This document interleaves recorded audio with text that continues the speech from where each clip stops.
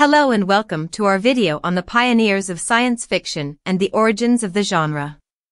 Science fiction, or sci-fi, is a genre of literature that explores the consequences of scientific and technological innovations.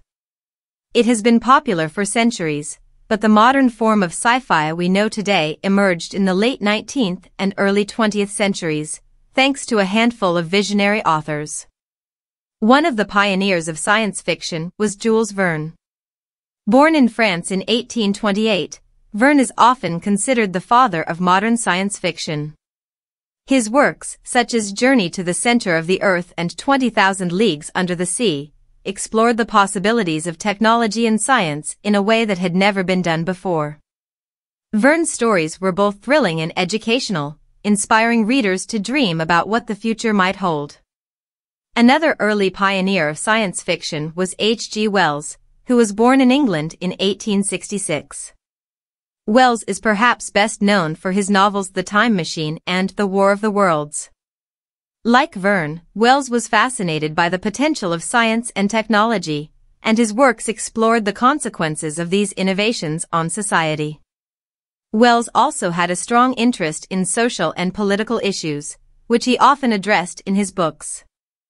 Edgar Allan Poe was another author who contributed to the genre. His science fiction stories, such as the narrative of Arthur Gordon Pym of Nantucket and the unparalleled adventure of one Hans Pfaall, explored the limits of human understanding and the terror of the unknown. Mary Shelley's Frankenstein, published in 1818, is often cited as an early example of science fiction. Shelley's novel tackled issues of mortality and identity, and helped to establish many of the genre's core themes and motifs. Arthur Conan Doyle, famous for his Sherlock Holmes stories, also wrote science fiction. His novel The Lost World explored the idea of prehistoric creatures still existing in a hidden corner of the earth. Finally, we have H.P. Lovecraft, who is known for his works exploring the horror of the unknown and the limits of human knowledge.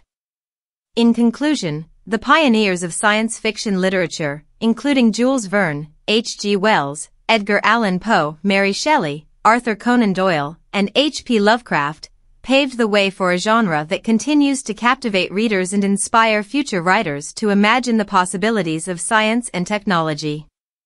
Thanks for watching. If you enjoyed this video, please like and subscribe for more content like this. And don't forget to hit the bell icon to get notified when we upload new videos.